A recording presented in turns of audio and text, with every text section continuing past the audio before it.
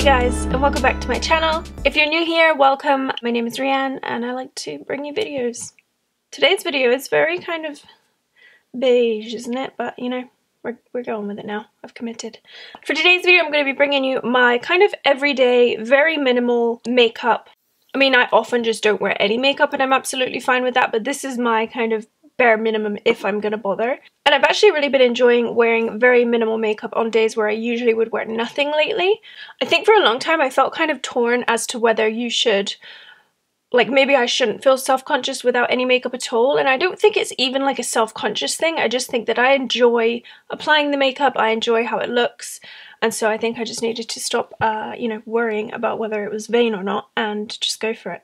I think it's more that I just kind of feel like a little bit more prepared, like I've taken a little extra time. I have kind of an array of price points in this video, so there is a lot of drugstore products, a lot more drugstore products than I would normally use. And I mentioned it in my drugstore makeup tutorial, which I will link up here for you, but I've really been enjoying using some of those products as my um, daily wear. So few of you did ask me to make this video, this is for you. So that was a, lot of explanation. Let's put some makeup on my face. I'm going to tell you what skincare I have on first because that is kind of part of the whole look I guess. So I have been using this Coola Tan Sunless Tan Anti-Aging Face Serum.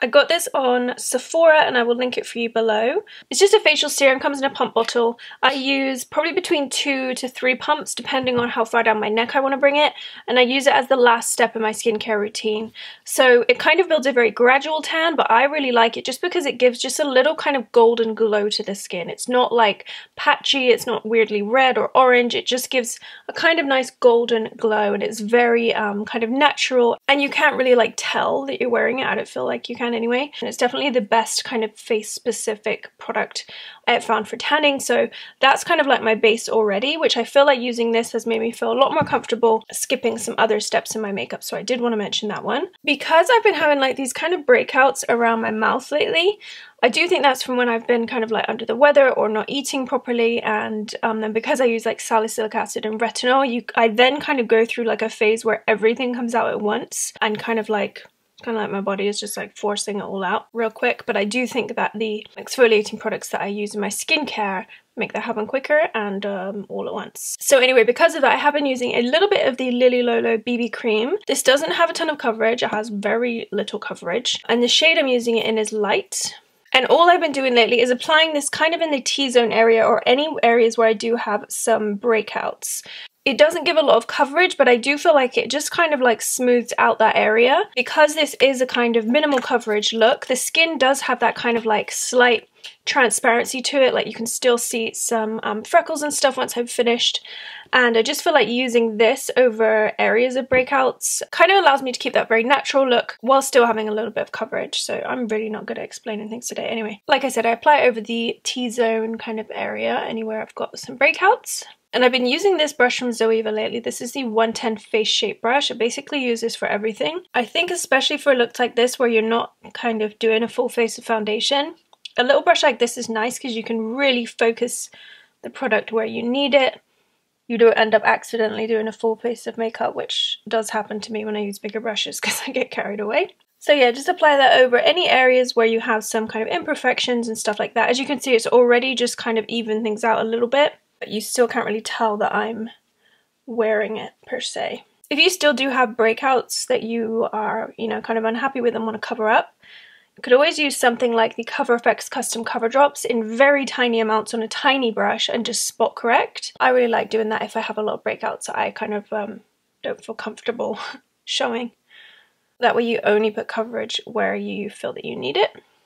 So nice and simple first step, you could absolutely skip that step if you do feel kind of comfortable in where your skin is at, but I do think if you have some breakouts or imperfections that you do just want to slightly blur, applying just a tiny bit of BB cream is a great way of doing that. Um, but if your skin is perfect, you may begin now. So the product I mentioned in my drug haul makeup tutorial, which I then kind of referenced this makeup look after, did that make any sense, is the um, Wet n Wild Mega Glow Makeup Stick in Oaks on You. They have a few shades in this kind of stick range that are vegan, and you can find that list on their website. And I just use this to bronze up my face. It gives a really nice look, easy to apply, blend out, and I've really been enjoying this. I've used quite a lot, so that's a good one. okay, does anyone else love sneezing?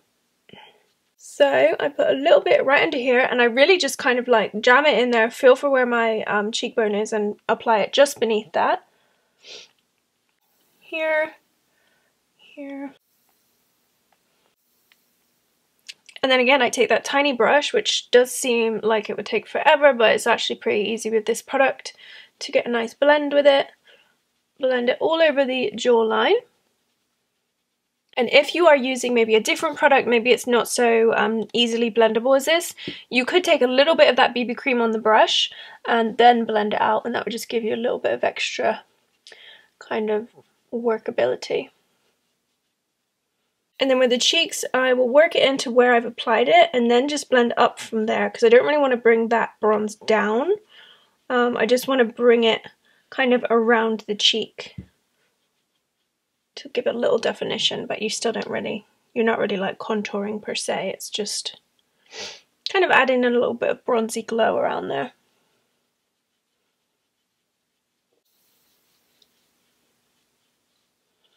And I do think it's nice to kind of bring this on the cheeks a bit too. Um, just gives a nice kind of healthy flush. And then the big old forehead.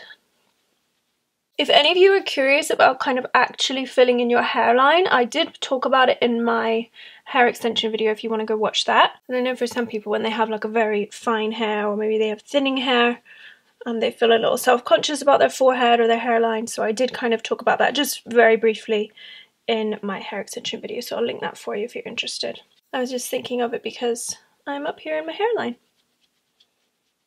Okay, and if there's anything left on your brush, you can kind of put it on your eyelids if you want to. You could put it across the bridge of your nose to give you a little bit of a bronze look. Now for concealer, I'm using this, I think it, was it called? Highlighting and concealing pen um, from Wet n Wild in the shade Posing Nude. As you can see, I've almost used it up, but it's amazing. I think it's like $4.99 maybe, and I've really been loving this. It's kind of like the um, YSL Touche Éclat, I think that's how you say it, with a little bit more coverage. So I really like it and it is slightly kind of peachy nude so it gives you a little bit of colour correcting but it still looks very skin-like. Just gives you that nice kind of glowy look. Because I know for me sometimes when I've tried to do looks like this which are kind of very natural you can still see the skin through it. If you use a concealer with too much coverage I would find it would look like so mismatched having like kind of glowy natural skin and then you know very full coverage under the eyes so I like to use things like this to add just minimal coverage where I need it for very kind of natural skin focused looks. I'm babbling because I've had some coffee and I'm also not feeling that well. I apply it to this little triangle of a, of a darkness here. Triangle of darkness. That's my band name. Like that kind of the nice thing about color correcting, say you want to color correct darkness around the eyes, is as soon as you start to hide the color when you apply the product, you can then see exactly where to put more and you just kind of chase the darkness around as you correct. So I find it fairly easy to do it like that if you think of it like that. And then I am going to put a little bit on any blemishes. This does give a little bit of coverage, but it's very light, very natural again, and it doesn't look mismatched with the kind of glowy look. So I'm also going to put a stripe of that down my nose, I think. And then you could use that same brush again if you wanted to, but I think I might actually use a damp sponge. And again, if you look closer, you can still see the breakouts.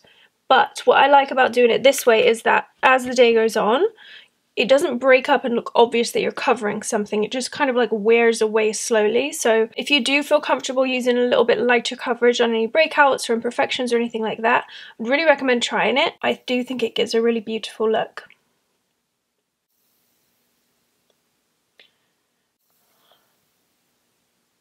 And then if you ever do want to leave any um, highlighting you've done down the nose a bit more defined, you can just wait a bit longer before you blend out um, and then the kind of line will stay there a bit more so that's just one thing to keep in mind is that like the longer you leave it the more kind of a defined line you'll have and you just have to blend it out just a little bit so still very glowy, very natural. You can still see my freckles. There's a little bit of bronze, a little bit of correcting around the eyes. This this thing is amazing. I would definitely recommend picking this up. And also the bronzing stick if you love to cream bronze. Highly recommend. Everything will be linked and listed below as always um, along with any discounts I can find if there are any around. Sometimes I will then do this step, I think I might actually just skip it today, but I wanted to mention them to you. So this is the Wet n Wild Colour Icon Bronzer in the shade Ticket to Brazil. I did use this in my Wet n Wild video, and a lot of you said this actually works better as like the, um, what do you call it, Hourglass Ambient Light Powders, which I've used it as and loved. So if you do want a kind of very light glowy bronze look, which is kind of you can't really see it on the skin, but it does give a nice glow. Highly recommend checking this out.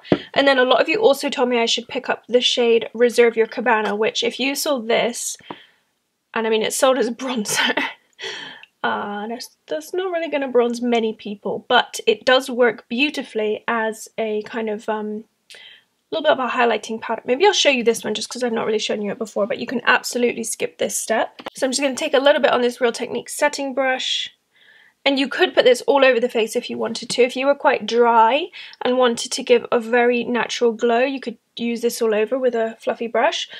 Or you can kind of use it as a bit more of a targeted highlighter. Can you see? Because it kind of like highlights in the way that it brightens and also that it does have a sheen to it. So it's really kind of a cool product, but I don't really know why they sell it as a bronzer. I don't know. I feel like it would be smarter to market, you know, in a different way, but that's not my business. Yeah, so you can just use that. And it's a little bit of a highlighter. I should just put this on my eyes.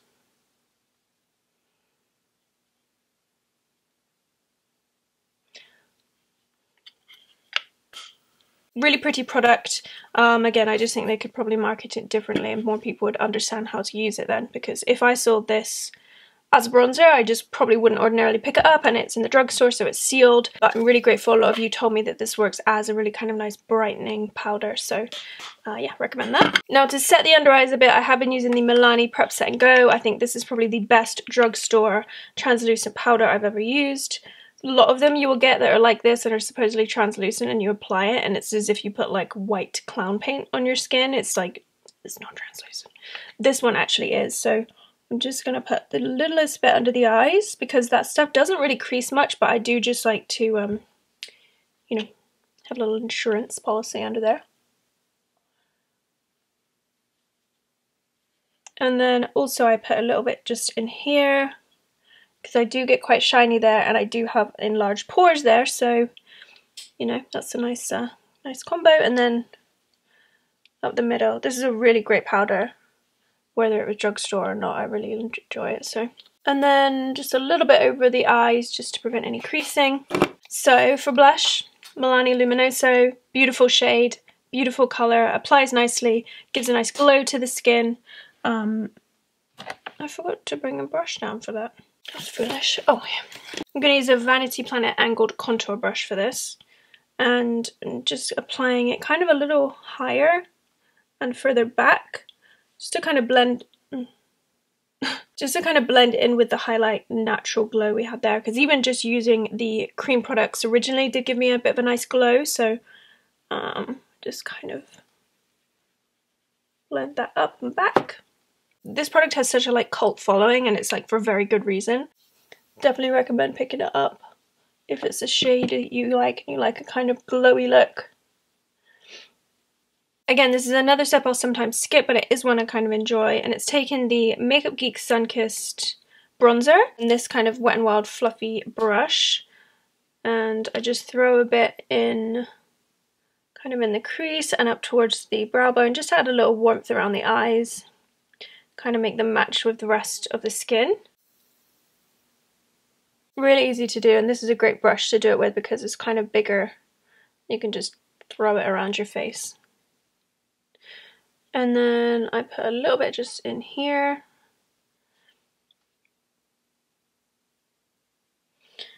And then I kind of use it as a bronzing a little bit of sculpting around the nose too.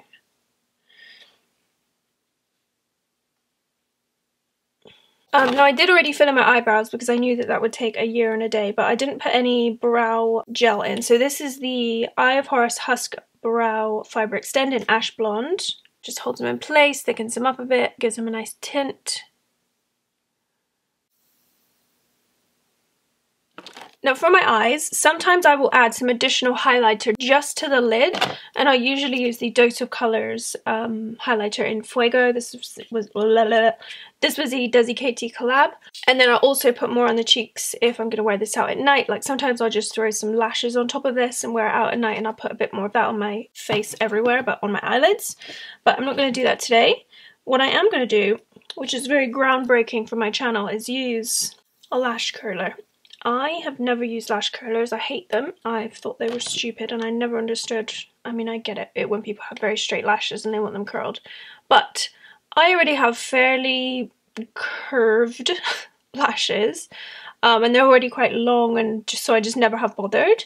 But it's really opened up my eyes when I've been doing this kind of like um, very simple natural makeup look. So I've been doing this lately the only thing is I swear no lash curlers are meant for the shape of my eyes, so I kind of have to really wiggle them around in there and go back and forth because I feel like this is meant for someone with an extremely wide curved eye and I think I have a smaller sort of flat eye, I don't know, I'm just moaning about things at this point. So I just curl the top ones and then apply mascara straight away.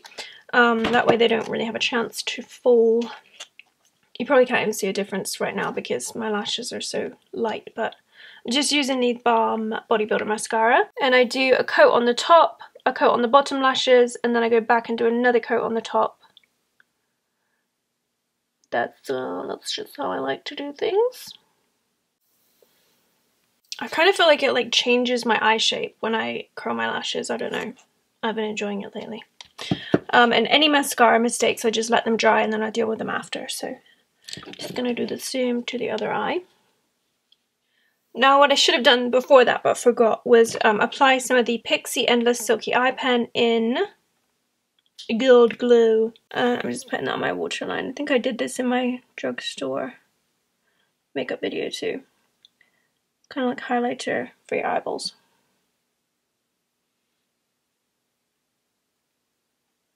And then I just pop a little bit on the inner corners as well.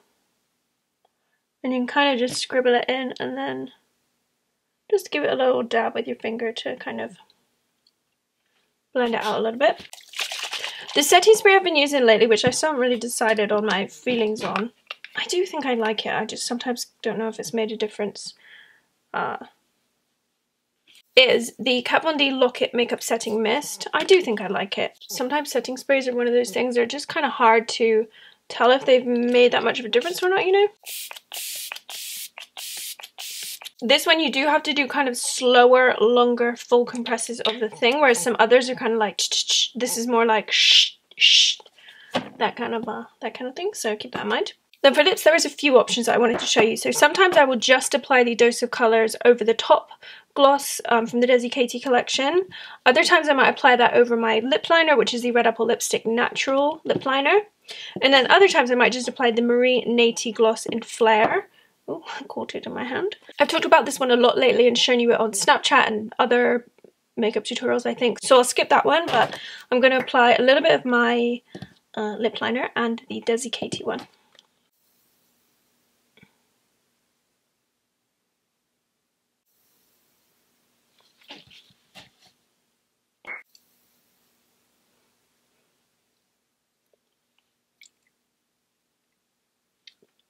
And then this is the finished makeup look. So kind of polished, very light coverage on the skin, nice glow to the skin. It's kind of like brows, lashes and lips are the things you're focused on, but they're all very neutral, natural, you know, colours and whatever, you know.